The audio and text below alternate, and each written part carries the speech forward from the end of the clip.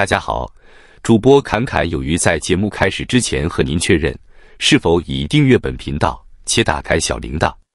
这样有任何新内容发表时，就可优先获得最新的节目通知。在 AI 产业中反复看到同样的现象，但人们总是对此反应的，好像这是什么新鲜或令人惊讶的事情。目前在生成式 AI 热潮中，真正赚钱的公司，例如获得额外毛利和营业利润，有时指美国证券交易委员会所说的重大收入，只有辉达和台积电公司。不过，据一家分析机构了解，AI 系统和模型供应链中的其他所有公司，要么在亏损，要么通过扩展到 AI 领域稀释了自己的利润。金融界称之为营业利润增值，但营业利润率稀释。博通公司 Broadcom 尽管在资料中心网络和其他交换设备方面实力雄厚，营业利润率很好，也不例外。因此，可以看到博通就像其他晶片供应商以及价值链上游的 OEM 和 ODM 厂商一样，纷纷决定进军生成式 AI 业务，宁可稀释利润。也不愿被落下，这确实是唯一的选择。值得庆幸的是，博通收购了赛门铁克 （CA） 和 VMware，拥有一些在资料中心非常粘性的高利润传统企业软体，因此可以平衡其 AI 雄心和基于这个市场性质所必须的微薄利润。博通的另一个选择是发现自己被排除在生成式 AI 热潮之外，什么都得不到。还要冒着失去大量资料中心产品晶片销售的风险，所以虽然人们在谈论博通如何未能达到华尔街对二零二五年最后一个季度 AI 相关收入的预期，但机构认为这不是问题所在。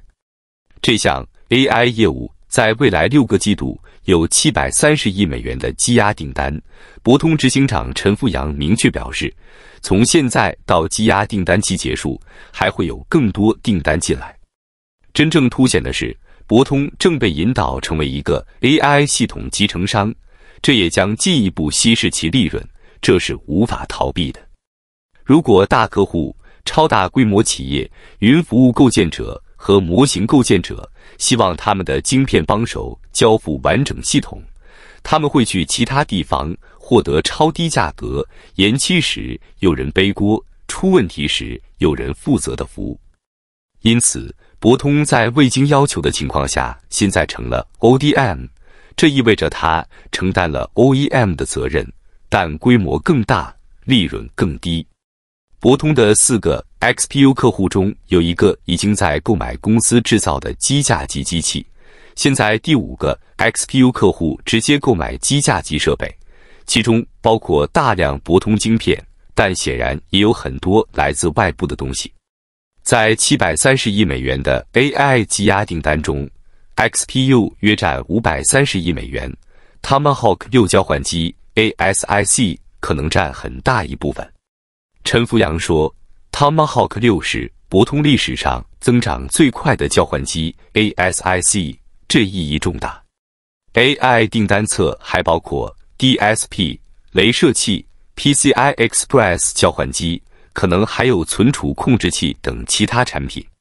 值得一提的是，陈福阳确认，确实是模型构建者 Anthropic 在几个月前向博通下了大约一百亿美元的 Google TPU 机架订单，并进一步说，Anthropic 刚刚下了另一个一百一十亿美元的 TPU 机架新订单，将于二零二六年底交付。至于第五个客户，机构认为不是 OpenAI，尽管博通正在与该模型构建者合作，订单价值十亿美元，涉及未知设计的 XPU 系统，二零二六年交付。OpenAI 与博通的交易从二零二七年到二零二九年，不是有的新闻稿所说的二零二六年，正如陈福阳在与华尔街的电话会议中澄清的那样。可以相信是帮助向 OpenAI 提供某种十 kMW 的容量。据最新了解，OpenAI 也想使用 Google TPU，而且记录显示，陈福阳确认，这个 OpenAI 交易不同于博通与他们开发的 XPU 专案，可以认为它指的是 OpenAI 自主研发的 Titan 推理 XPU 的开发和制造。由此可见，在生成式 AI 世界里，不是吃就是被吃。也可以推断，CA 和 VMware 基础可以根据需要，通过提高价格来增加利润。甚至可以打赌陈福阳的最后一美元。如果公司整体利润率需要的话，这将会发生。在截至十一月的季度中，博通销售额略超过一百八十亿美元，同比增长百分之二十八点二，环比增长百分之十二点九。营业收入增长百分之六十二点三，至七十五点一亿美元，净收入增长百分之九十七，至八十五点二亿美元。部分得益于博通一直保留的十六点五亿美元税收收益。全年来看，博通销售额为六百三十八点九亿美元，增长百分之二十三点九；净收入为二百三十一点三亿美元，增长三点九倍，占收入的百分之三十六点二。这真的很惊人。这不是魔法，只是当你把一堆小垄断企业组合在一起时会发生的事情。让你有能力面对现代晶片市场更严酷的现实。博通在季度末拥有一百六十一点八亿美元现金和六百五十一点四亿美元债务，后者趋势缓慢下降，前者快速增长。过去十年建立起来作为利润堡垒的基础设施软体集团销售额为六十九点四亿美元，增长百分之十九点二。营业收入为五十四点二亿美元，增长百分之二十九点一，占收入的百分之七十八。全年来看，博通软体集团销售额略超过二百七十亿美元，增长百分之二十五点九，营业收入为二百零七点六亿美元，增长百分之四十八点五，占收入的百分之七十六点八。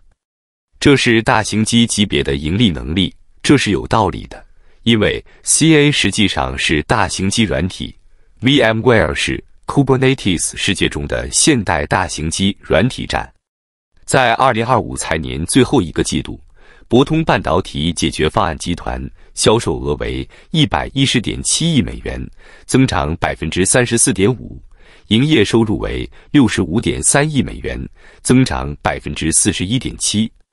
全年来看。博通晶片业务收入为三百六十八点六亿美元，增长百分之二十二点五；营业收入略超过二百三十亿美元，增长百分之三十七点六，占收入的百分之六十二点五。考虑到利润稀释的 XPU 业务，这仍然是一个非常健康的业务。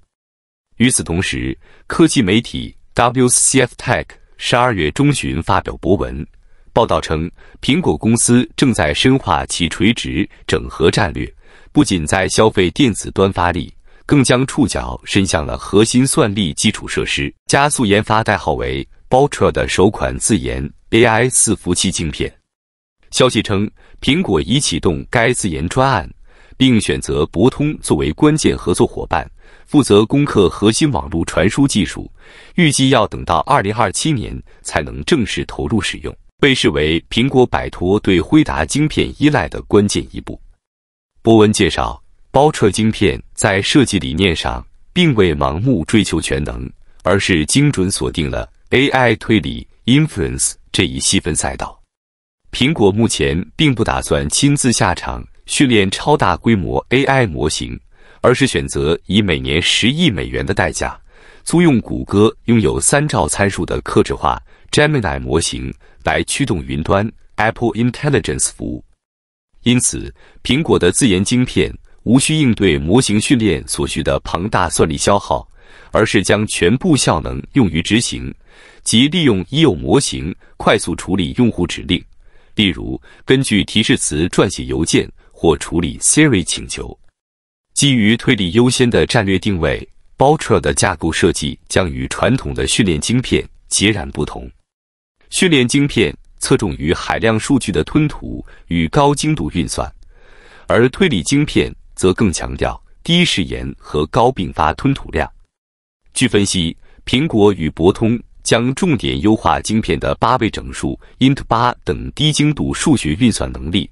这不仅能大幅降低能耗，还能显著提升用户端的响应速度。此外，供应链消息指出，该晶片极有可能采用台积电先进的三纳米制成的 N 三 E 工艺，设计工作预计在未来十二个月内完成。媒体指出，从终端设备到云端伺服器，苹果正试图通过掌控每一个核心技术节点。构建起一道难以逾越的竞争壁垒。总体来看，苹果正在加速扩展其自研晶片帝国。在外界熟知的 A 系列 iPhone 和 M 系列 Mac 晶片外，积极部署其他晶片，例如 5G 数据机晶片 C1 以及 WiFi 和蓝牙晶片 N1 等等。此外，有消息称，苹果针对未来的 AI 眼镜。搭载 Apple Watch S 系列晶片的衍生版本。那么本期内容到这里就结束了，感谢你的观看，期盼能与你产生共鸣。侃侃而谈，阔论有余。最后，请你点赞、订阅，这对侃侃有余是极大的鼓励。谢谢。